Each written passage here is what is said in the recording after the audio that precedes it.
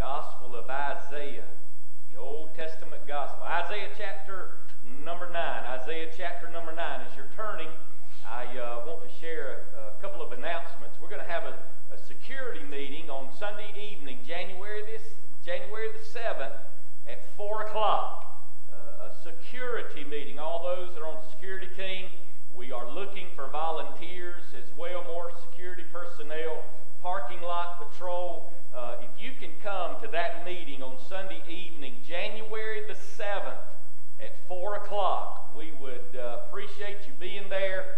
We're getting up some new guidelines, uh, beefing up security for the safety of uh, our church family.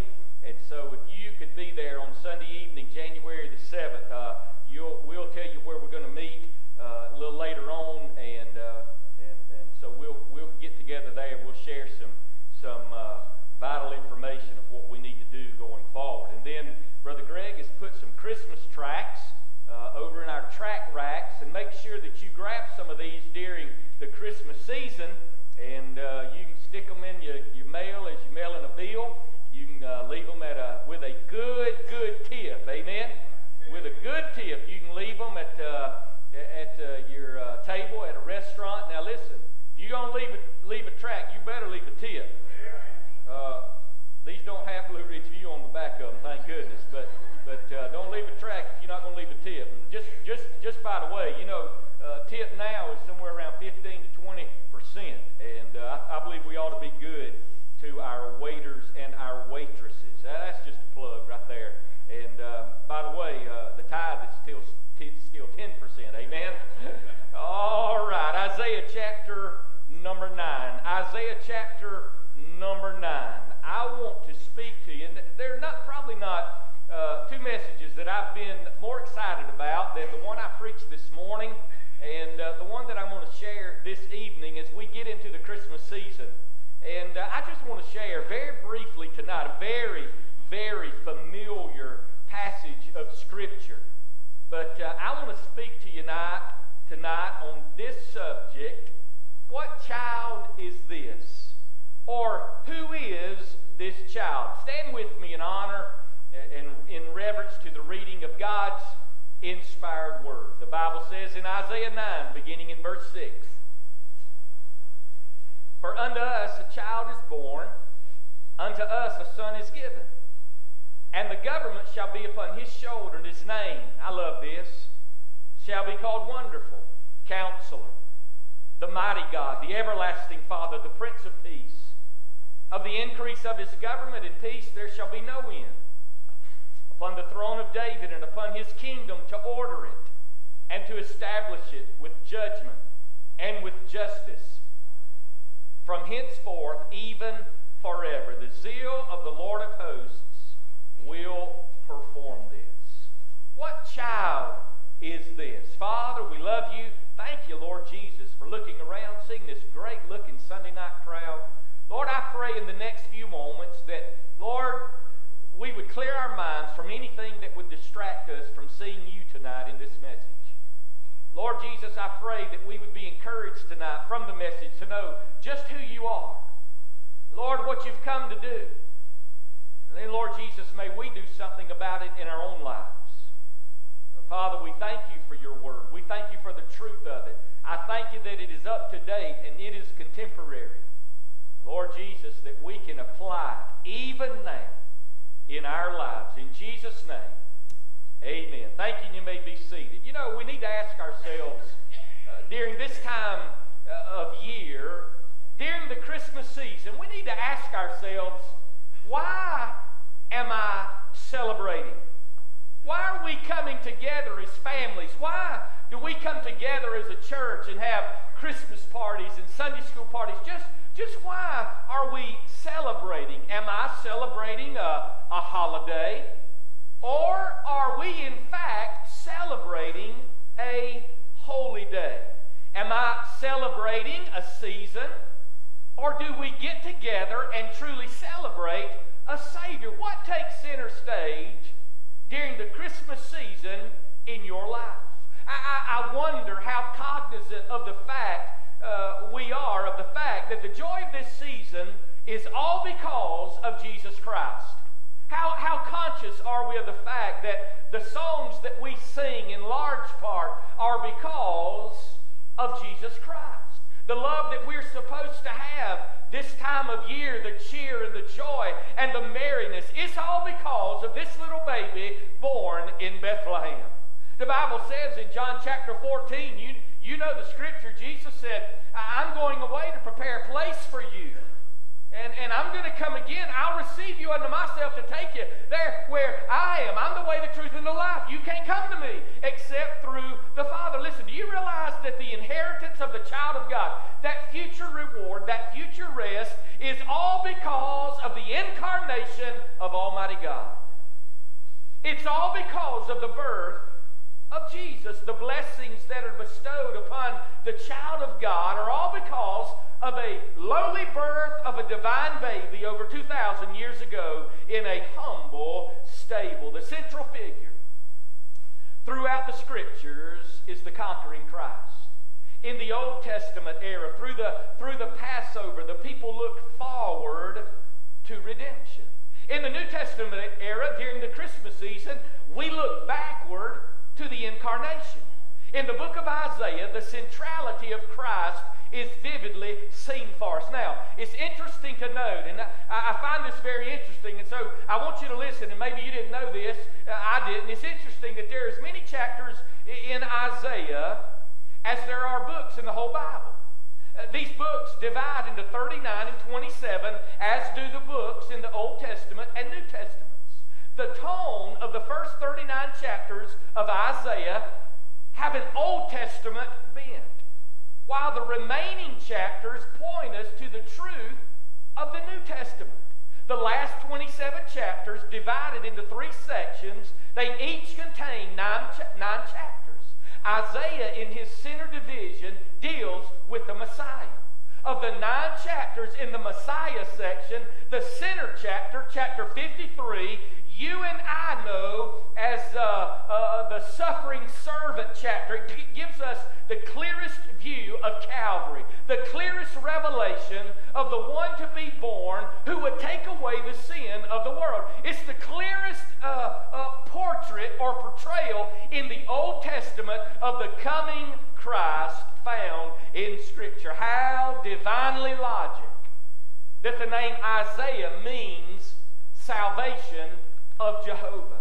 If you were to do an in-depth study of this book, you would hear the, the dreaded proclamations of a powerful prophet. One chapter you would visualize doom and you would visualize gloom and you would see judgment and you would hear hard preaching. And then Isaiah would shift his focus from doom and gloom and he goes to light and to might. He writes about the Messiah as the Savior and sovereign to illustrate the crown, the coronation, the cross. The songwriter asked many years ago, and we sing it sometimes at Christmas What child is this?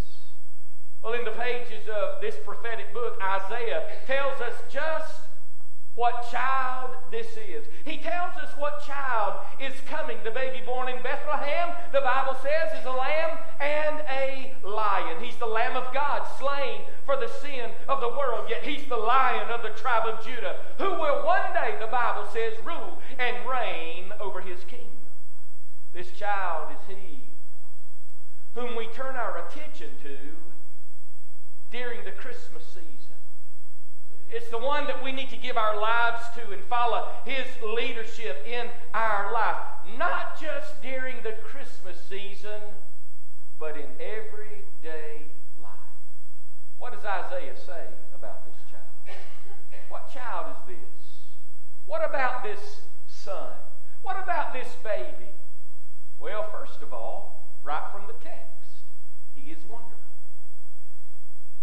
He is wonderful. Charles Haddon Spurgeon said, Beloved, there are a thousand things in this world that are called by names that do not belong to them. But in entering upon my text, I must announce at the very opening that Christ is called wonderful because he is so. Amen? he is wonderful, wonderful in his identity. He's wonderful in his identity. Friend, you can preach on the virgin birth, you can analyze the incarnation, you can listen to sermons about the advent, but when all is read, when all is studied and heard concerning God coming to this earth as a babe in a manger, you have to sit back and you have to say, He's wonderful. Wonderful in his identity. He's wonderful in his industry. Wonderful in his in his work. His industry where? His work where? In creation in creation, only a wonderful God with a wonderful mind and with wonderful power could conceive and create the majestic world that you and I live in. To see the beauty and the intricacy and the detail of man, beast, and earth, one has to say no to evolution and you have to say yes to a wonderful God. Amen? Listen, his work or his industry, not only in creation but in salvation, his greatest works are not the mountains and the sea. His greatest works are not the butterflies and the bees. His greatest work was redemption. His greatest work is saving a soul. You see, only a wonderful God could take a woeful man and turn him into a worthy citizen of heaven. Amen? Man, he's wonderful in creation, in salvation. He's wonderful in his work of ministry. All through the New Testament, you see the wonderful works of his miraculous power. We see him raising the dead. We see him feeding the multitudes. We, we see him giving sight to the blind. We see him in his ministry. He's touching the hurting, he's touching the hopeless and the despondent. But he's also wonderful in his destiny. This child was born to die. He was born to be the Savior of the world. When we look at that and we say, What child is this? One of the words that we use is, He's wonderful. But the second thing right from the text is this. What child is this? He's counselor. He is counselor. The scriptures state that Jesus is not just wonderful, but he's counselor. No doubt, no doubt now.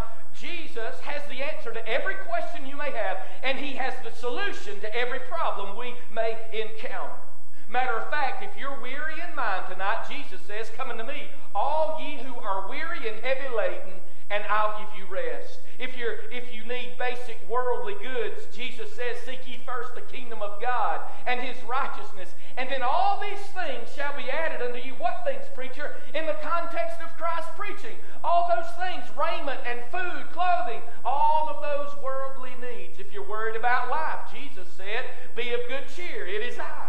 Be not afraid. If you want to be a lit witness to the lost, Jesus said, You shall receive power after the Holy Spirit comes upon you, and you shall be witnesses unto me. If you're weak in body, Jesus says, Rise, take up your bed, and walk. If you're sad today, Jesus says, Joy comes in the morning. If you're afraid of death, as we preach this morning, He says, Yea, though I walk through the valley of the shadow of death, I will fear no evil. If you need an answer that is in His will to answer, He says, Call on me, and I will answer you and show you great and mighty things. He's wonderful. He's counselor for your worry. He has wisdom for your problem. He's got a plan. For your discouragement, He has direction. For your pain, there is a prescription. He has a purpose for every person, for every man. He has a message.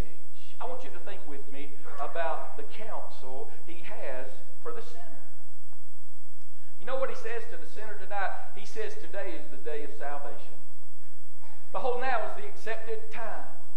Harden not your heart, he says. He says, Whosoever shall call upon my name shall be saved. That's the counsel to the sinner. But he's also got counsel to the saint, to the saved. Listen, here's his counsel tonight. Listen very carefully.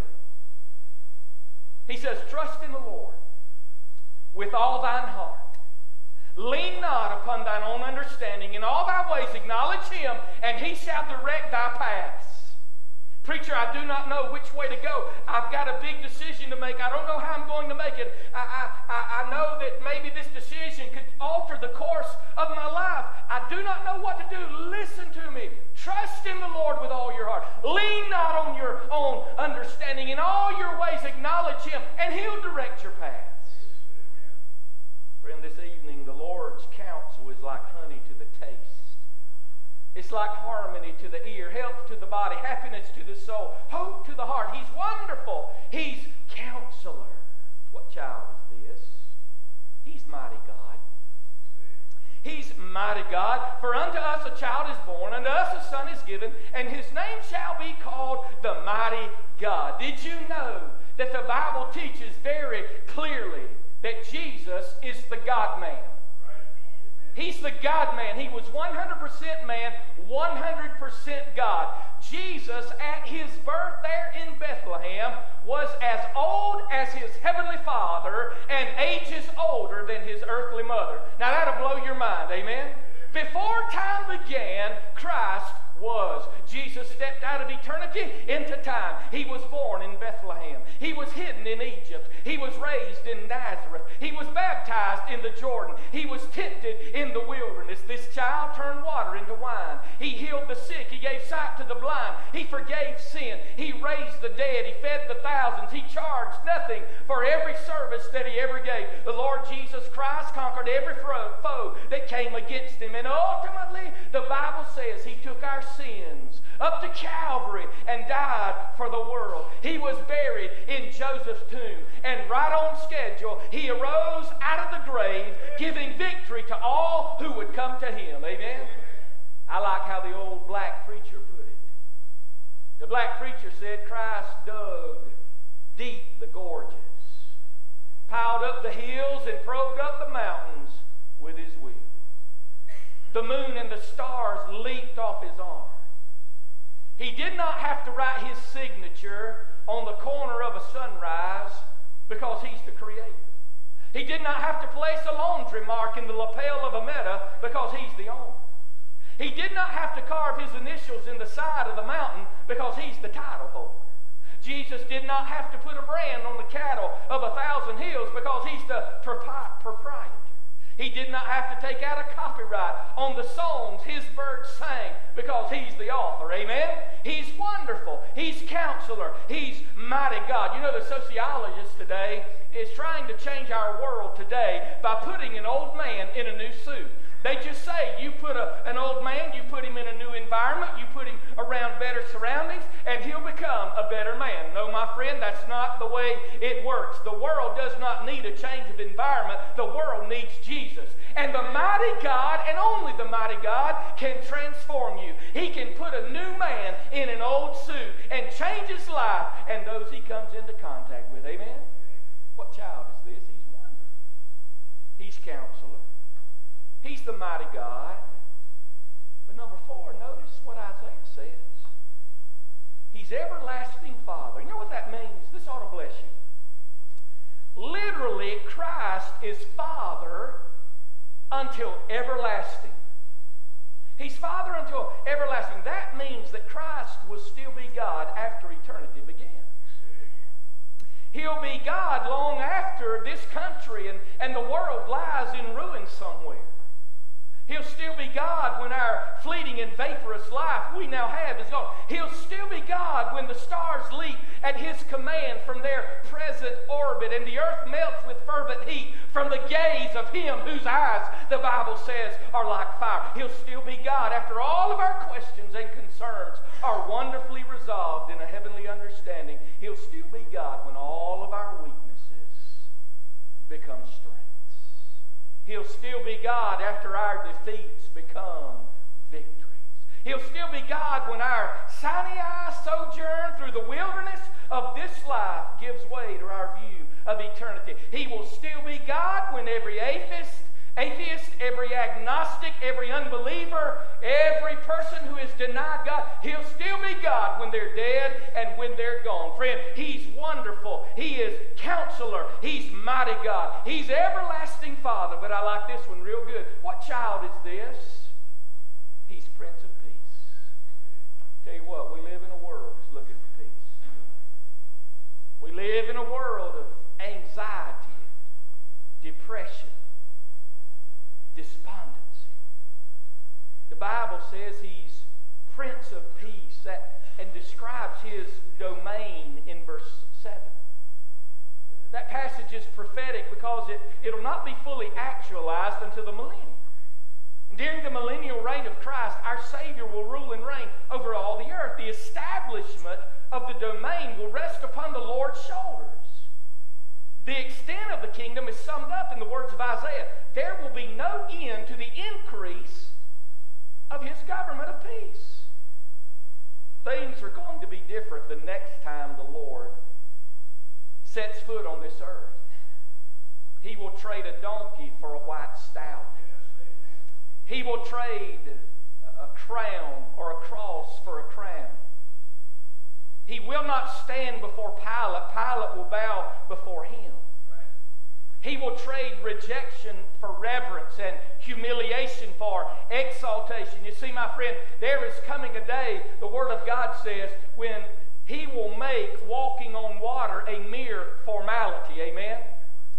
He will make the miracles that we see in the Word of God, He will make them a mere formality when He mounts that white horse and rides down the cloudy skies of the universe to this earth. The laws of gravity, the laws of time, the laws of space will simultaneously collapse, and His children will be standing with Him in honor and in power and in glory.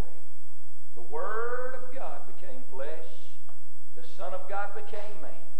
The Lord of all became a servant. The righteous one made sin. The eternal one tasted death. The risen one now lives in men. Hallelujah. Jesus, the victorious one, now seated. He's coming, coming again. I don't mean to belittle what we do during Christmas. I love Christmas probably as much as anybody in here. But this year, I, am not going to focus on Santa. Not going to focus on sleigh bells and snow. Not going to focus on wreath or reindeer Rudolph. The real meaning of Christmas, the true meaning of Christmas, is the hope that you're going to find in this dear child. Amen. The Savior. Santa may be jolly, and he is. Santa Claus is jolly. But Jesus is wonderful. Amen. Santa can't compare. Frosty the snowman might make you smile, but the Lord Jesus Christ is counselor. Frosty can't do that. Rudolph may have a shiny nose, and he does, young people. Rudolph's got a shiny nose, but Jesus is mighty God. Rudolph's just a reindeer. Amen? You may believe that elves live a long time and never grow old, but Jesus is everlasting Father. Alcohol may give you a temporary solace, but Jesus is the Prince of Peace. Eggnog, champagne, and the Budweiser Clydesdale can't give you that. Amen? What has been? What is, what will be your priority this Christmas? It ought not be presents. It ought not be food, fellowship.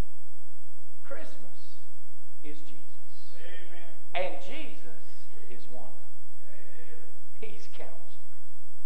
He's the mighty God, the Prince of Peace, and the everlasting Father. I've preached a message on that before. Message was, and I might do it again. The message was entitled, A Name for Every Need. Well, he's, he's, he's got a name for every need in your life He's wonderful. He's counselor. He's mighty God. He's the Prince of Peace, everlasting Father. Let's worship Him during this Christmas season. Heads are bowed, eyes are closed.